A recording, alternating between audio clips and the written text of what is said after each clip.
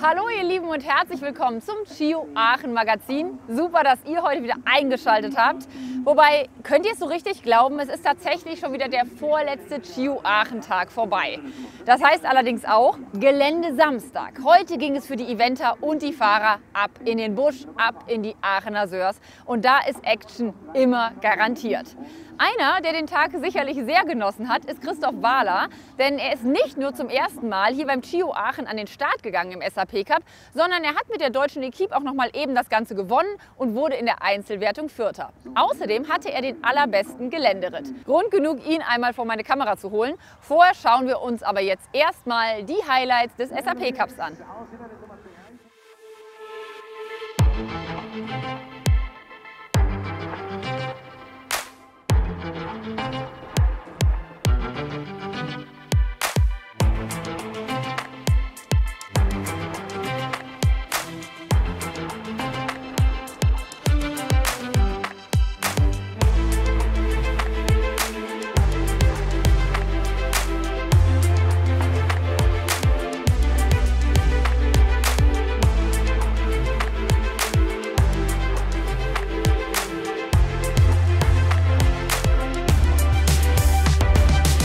Um, it's always really tough um, here in Arkin. I came last year and um, yeah, it's very tough with the time, um, the fences and the combinations. It's all very tricky and they come up thick and fast. So uh, you've got to be on it from the start, I think. Um, and Banzai was today. He was um, amazing, so I couldn't fault him really. I'm so proud of him.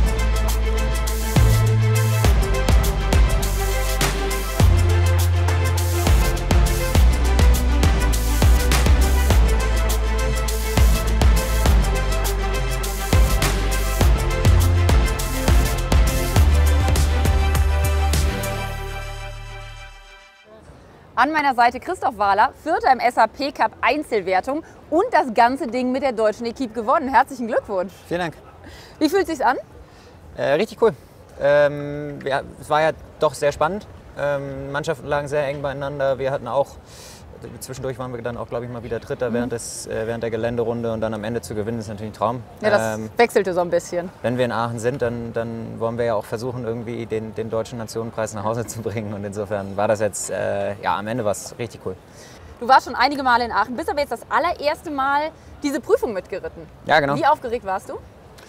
Aufgeregt ging, um ehrlich zu sein. Äh, angespannt, ja.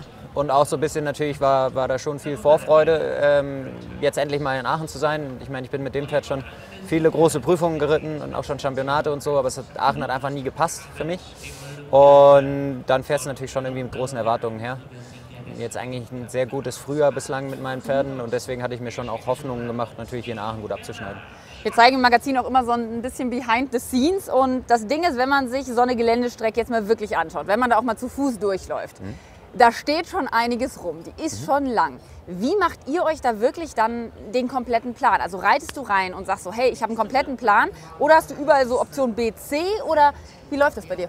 Ja, du musst, äh, glaube ich, schon überall eine Option B oder C haben. Zu viele sollten es dann nicht sein, weil am Ende, sagen wir es mal so, ist die, die technische Schwierigkeit ist schon so hoch, dass es eigentlich einen Weg gibt, der kann funktionieren. Und dann vielleicht gibt es noch eine Variante, wo du sagst, okay, wenn alles in die Hose geht, dann kann ich noch mal einen Galoppsprung mehr machen oder einen weniger machen oder so. Aber eigentlich hast du schon, oder habe ich einen relativ genauen Plan, wie ich es machen will.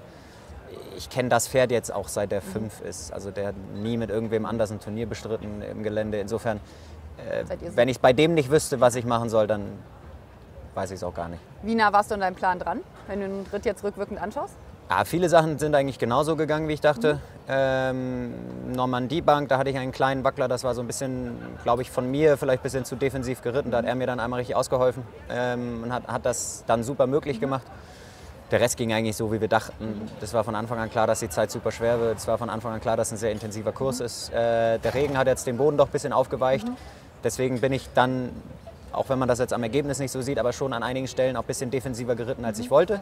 Aber ich glaube, das war jetzt dafür, wie es war, war es gut. Ja, für die Premiere kann man mit dem Ergebnis ja wirklich Ja, sehr, sehr zufrieden sein und vielleicht legst du dann ja im nächsten Jahr einfach nochmal nach. Warum bist du Vielseitigkeitsreiter geworden? Ich irgendwie immer gemacht. Ähm, also ich habe auch Dressur und Springen geritten. Ich reite auch immer noch Dressur und Springen. Aber meine Eltern haben sich irgendwann überlegt, für mich und meine Schwester, dass das eigentlich ganz gut wäre für unsere reiterliche Grundausbildung, wenn wir damit mal anfangen. Und ich bin dann dabei geblieben. Und hat geklappt, hier in Aachen. Ja, klappt ja bislang noch. Ich hoffe, es bleibt noch ein bisschen so. Vielen, vielen Dank für das Interview. Herzlichen Glückwunsch an dieser Stelle. Wir freuen uns darauf, dich dann später noch in der Siegerehrung zu sehen. Und für euch gibt es jetzt kleine Behind-the-Scenes-Einblicke von Juliane Barth, alias Julis Eventer. Sie ist ja unsere rasende Reporterin hier im Magazin. Und sie ist nicht nur auf der Strecke unterwegs gewesen für uns, sondern schaut auch mal, wie so ein Warm-up abläuft, was die Teams mit den Pferden machen. Und sie schaut ganz genau hin. Es ist Samstag, das heißt Gelände. Und äh, ja, es ist immer so eine kribbelige Stimmung, wenn das Gelände läuft. Ich bin hier gerade im Stall, weil ich einfach das total liebe, wie die Leute hier ja, so ein bisschen kribbelige Stimmung, aber auch sehr konzentriert. Die Reiter sind natürlich schon sehr im Tunnel und reden miteinander, geben sich gegenseitig Tipps. Das liebe ich ja an der Vielseitigkeit, dass man eben jeden fragen kann. Ich gehe mit euch jetzt aber einmal äh, den Weg lang, den die Pferde nehmen. Das heißt, erster großer Abreiteplatz, dann gibt es noch einen kleinen Abreiteplatz, wo man die letzten Sprünge machen kann und dann geht's los.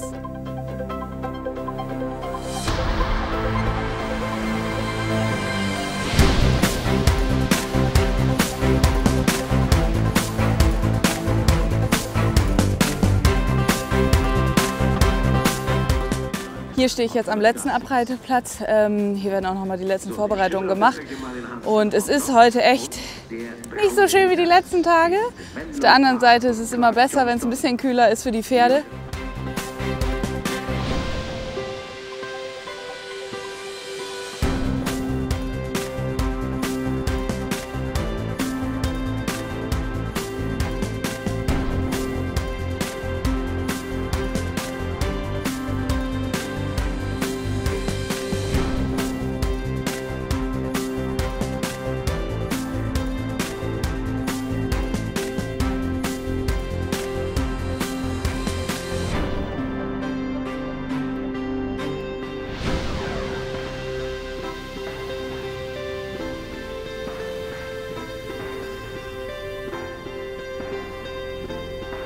Ist sozusagen der letzte Bereich, der Abpflegebereich. Da kommen die Pferde nach dem Ziel rein. Da wird abgeschwammt, runtergekühlt, die Beine nochmal abgewaschen und so weiter und so fort. Und äh, natürlich auch vom Tierarzt gecheckt, bevor sie dann Richtung Stall dürfen.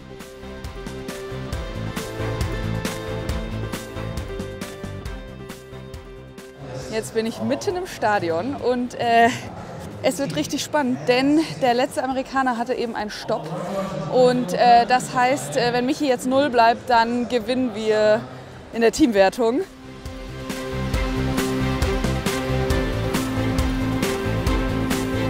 Tom McEwen, ein Vorbeiläufer. Äh, Michi hat ein paar Zeitfehler. Keiner kommt 0-0 rein. Alle bisschen Zeitfehler oder eben tatsächlich ein Vorbeiläufer. Ähm, das heißt aber auch, Deutschland gewinnt den Nationenpreis hier mit der Mannschaft und Jasmine Ingham hat äh, im Einzel gewonnen. So ein crazy Tag.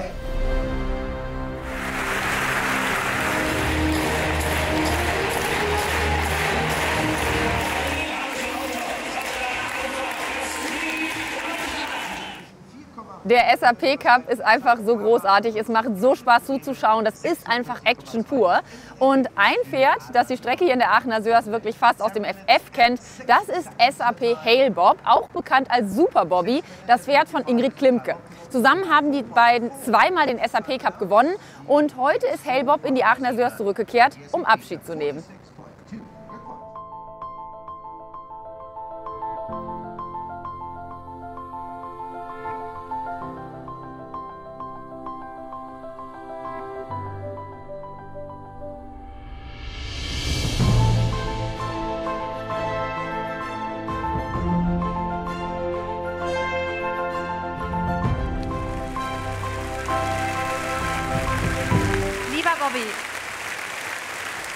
Fünfjährig zu uns in den Stall und ich muss ganz ehrlich sagen, damals war das nicht wirklich Liebe auf den ersten Blick. Du hattest immer schon diesen großen Kopf und vor allen Dingen auch einen richtigen Dickkopf. Bobby hat nämlich immer entschieden, dass er seine eigenen Wege geht und vor allen Dingen auch im Tempo hatte ich anfangs wenig Chance, ihn zu kontrollieren. Doch mit der Zeit, dank den Trainern Hans und Chris, habe ich irgendwann gelernt, dich zu zügeln. Und du standest lange im Schatten von den Top-Pferden, zum Beispiel Escada. Und keiner hat wirklich so richtig dran geglaubt, dass du mal ein Superstar wirst. Doch dann, 2014, kamen wir zurück als Fünf-Sterne-Sieger aus Po. Und von da an bist du mit gespitzten Ohren flott, flüssig, mit deinem ganzen Kämpferherz, mit deinem Mut, mit deiner Geschicklichkeit und mit deiner unglaublichen Härte durch sämtliche Gesende Geländekurse mit mir gesaust. Ich konnte mich immer auf dich verlassen und ich wusste, Bobby, dass du für mich alles gibst.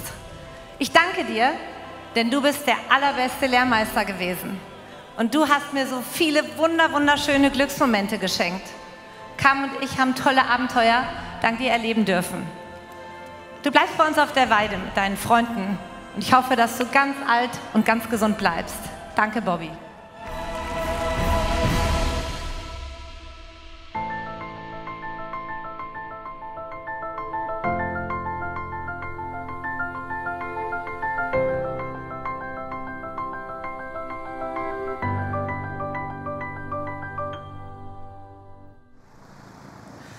Oh, was für schöne Bilder. Und das Wasser, was ich hier gerade in den Augenwinkeln habe, das schiebe ich jetzt einfach gerade mal auf den Regen.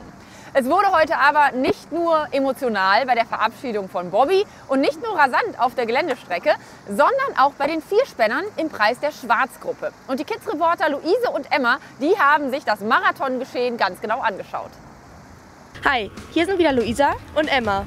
Und gestern durften wir uns ja mit Mareike Harm und ihrem Team den Parcours angucken. Und heute ist es endlich soweit. Heute startet der große Marathon der Vierspänner. Hier ist ja auch schon ganz schön viel los, also würde ich sagen, let's go!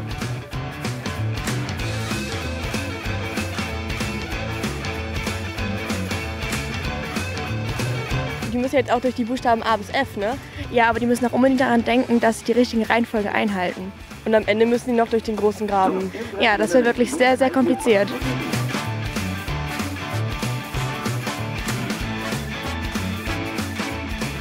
Glaube, gleich geht's auch schon durch den Graben.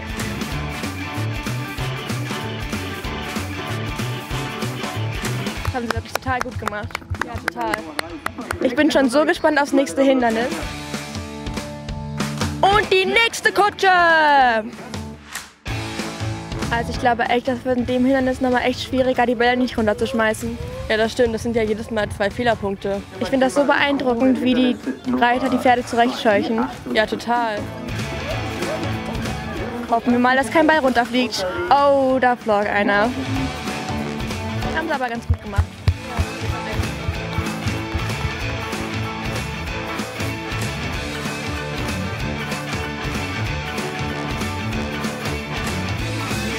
Ey, das sieht jetzt so anders aus mit den ganzen Menschen da hinten. Ja, total. Das sind auch einfach so viele. Ja, aber ich, hab, ich finde auch, das äh, Rolex-Wasser Hindernis ist auch echt am coolsten. Ja, aber das Wasser wird wahrscheinlich auch total hoch Jetzt wird es aber ganz schön stürmisch. Ja, das ist für die Pferde bestimmt auch viel schwieriger jetzt. Ich finde das so beeindruckend, wie da diese steile Brücke runtergehen. Guck mal, wie hoch das Wasser spritzt. Ja, jetzt mit dem Regen ist es nochmal irgendwie was Besonderes. Das sah echt richtig spektakulär aus. Ja, total.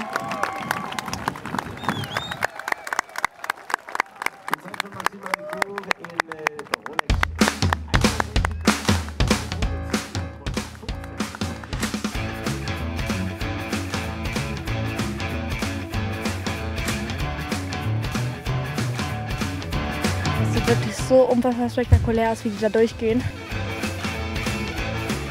Haben sie richtig gut gemacht.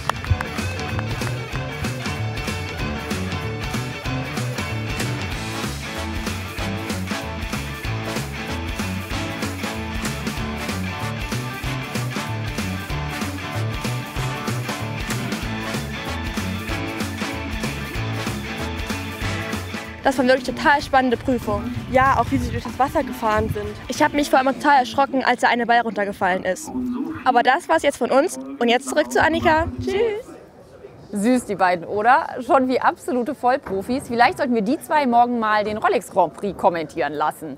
Rolex Grand Prix ist ein gutes Stichwort, denn wir haben morgen hier in der Aachener Sörs ein zehnjähriges Jubiläum und zwar vom Rolex Grand Slam. Diese Serie verbindet jetzt schon seit zehn Jahren vier der größten Reitturniere weltweit und bisher ist es erst einem gelungen, das Ganze zu gewinnen. 2013 hier das erste Major, hat übrigens Nick Skelton gewonnen und den habe ich mir zum Interview geschnappt. Nick, thank you for your time. I hope you enjoy your time here in Aachen. Is there a part of you that would love to jump back on the horse and go in the main stadium? Um, yeah, yeah, a part of me when you're here and you get the atmosphere, then you you know really wish that maybe I was riding again. Um, but then I've been very lucky to achieve what I have, and um, time goes on, and yeah, it's great Time to be goes here. on. Yeah. Um, what do you do during your stay in Aachen? Well, uh, Laura Kraut, my partner, she's riding here. Um, so we, you know, we have all the, we have four horses here, young ones, and she's been competing. So we're looking forward to tomorrow. At the moment, we're the first reserve out, but hopefully, um, you know, we should, we might get in. So you still have a little Hopes. bit competition feeling. yeah, we still have hope. Um, you had a spectacular win in 2013 with your horse Big Star. Can you still remember your emotions? I can remember, yeah. Um, it's obviously after the year after we won in London the, the, the Olympics, the Team Olympics, and um, yeah, I mean that day in 2013 was really, I mean he gave a really good performance and it was a very good jump off, and uh, it's always a thrill to win here. Yeah. I've been very lucky over the years to win here in Aachen. Yeah. Which, that was my fourth time, and yeah, I mean the atmosphere is tremendous. It's the best. This is the best show in the world by by far. We love to hear that. um, do you have an insider tip for us for the Rolex Grand Prix on Sunday? Oh, I mean, it, it is very. You've got the world's best here, so you know it's, uh, and the course is always very difficult. A lot of people are going really well. You've got last year's winner is in again. Um, there's, there's just so many. Anybody could win. Yeah. If McLean Ward also wins the Rolex Grand Prix on Sunday and not Laura, um, he's a top contender for the Rolex Grand Slam. He Yeah. has good chances. I think McLean has a good chance. I mean, okay, Azuri's she's getting on a little bit in age, but she was great in Geneva and also in Satogenbosch. And I know McLean is really determined to win this Grand Prix. He wants to. He wants it badly, and um, yeah, I mean, she's definitely been on good form, and I should think this will be her. I think if she wins this, that will be it. She'll probably be retired from then on. I think, but she has a good chance, and um, it would be great to win it. I hope he does. Where will you watch the show? In the stadium or? I hope, yeah, hopefully I'll be in the stadium. But hopefully, if Laura gets in, we'll be down here in the warm up and uh, trying to do our best. What is your tip for her? Well, eh, first of all, we have to get in, and then I, I think actually uh, Balatinho, he is good enough to win this, um, but he just had a bad day on Thursday night. Um, I think the atmosphere got to him a little bit, but um, yeah, he's good enough to win. For sure. So when will um, be the decision if you're in? Well, I think we can. We know two hours before. Okay. That's the cut-off time. So, 12 o'clock tomorrow. So I hold the thumbs. Well, yeah, Thanks for your time. crossed. And have a nice time in Aachen. Good. Thank us. you. Great. Also ein wenig kitzelt es Nick anscheinend doch noch mal aufs Pferd zu steigen. Allerdings genießt er auch so seine Zeit hier in Aachen, zumal seine Partnerin Laura Crowd äh, sich vielleicht tatsächlich am Sonntag noch qualifizieren kann und dann eventuell beim Rolex Grand Prix mitreitet. Er hat aber auch einen Insider-Tipp für uns und hat gesagt, okay, es gibt viele starke Reiter, hat aber auch verraten, dass McLean Ward tatsächlich richtig, richtig Bock hat, am Sonntag hier zu gewinnen. Denn dann hätte er den Rolex Grand Slam gewonnen. Und das ist ja so ein bisschen doch das große Ziel für viele Reiter. Falls ihr euch jetzt fragt, Rolex Grand Slam, was hat es damit eigentlich auf sich? Was hat das mit dem Rolex Grand Prix am Sonntag hier in Aachen zu tun? Wir zeigen es euch. Ruhm, Ehre und natürlich die Geldprämie stehen beim Rolex Grand Slam der Springreiter auf dem Spiel. Es geht um eine Million Euro. Das ist weltweit einzigartig. Vor genau zehn Jahren hat hier in Aachen alles begonnen. Der Rolex Grand Slam verknüpft vier Majors. Das CSIO Spruce Meadows Masters, den CHI Genf, The Dutch Masters und den CHIO Aachen. Die vier Majors sind natürlich ganz spezielle Turniere, sind die größten Turniere, die wir haben. Also es ist immer ein Ziel, um dort ganz vorne zu stehen. die Möglichkeit, eine Grand Slam zu gewinnen, wie in jeder anderen Sportarten wie Tennis und Golf, ist jetzt ein Highlight für jeder Reiter. McLean Ward ist der aktuelle Titelanwärter auf den Rolex Grand Slam. Er kann beim CHIO Aachen zur Legende werden und als zweiter Reiter überhaupt die prestigeträchtigste Trophäe des Pferdesports gewinnen. Denn Ward gewann bereits zwei Majors in Folge. Beim CHI Genf und beim The Dutch Masters. Gelingt ihm nun auf dem heiligen Rasen in der Aachener Sörs die Sensation. It's a huge monumental task, but one that uh, myself and HX Azure have uh, been able to get very close to now. Der US-Amerikaner, der in der Weltrangliste Rang 3 belegt, sattelt sein Spitzenpferd HH Azure, um seinen Traum vom Rolex Grand Slam wahr werden zu lassen. Dass dies zu erreichen etwas Außergewöhnliches ist, weiß auch der Major-Sieger des CSIO Spruce Meadows Masters, Daniel Deusser. Der Deutsche wird versuchen, sich den Two out of Four Bonus zu sichern, den Gewinn zweier Rolex Grand Prix innerhalb seines Grand Slam Zyklus. Dafür winken 250.000 Euro zusätzlich zum Preisgeld. The fact that more and more people come into the sport, that the sport gets better and better in every year, um, shows that more and more people are able to win a Rolex Grand Slam. And um, of course it gets more and more difficult every year.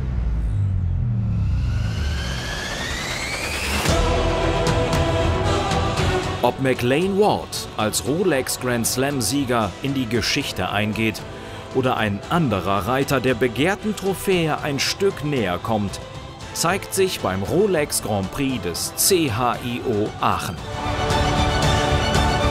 Zehn Jahre Rolex Grand Slam. Ein neues Kapitel Sportgeschichte.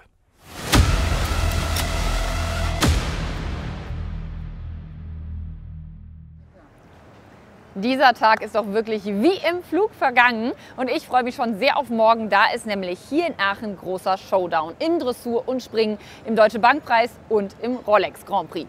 Ich werde mir jetzt noch ganz schnell den Tribünenplatz klar machen, denn gleich startet der Merkur Spielbanken Cup. Und wenn ihr Lust habt, das Ganze auch zu verfolgen, schaut einfach auf unserer Homepage vorbei. Da gibt es nämlich einen Livestream. Also, wir sehen uns morgen wieder zum großen Chio Aachen Finale. Macht's gut. Tschüss.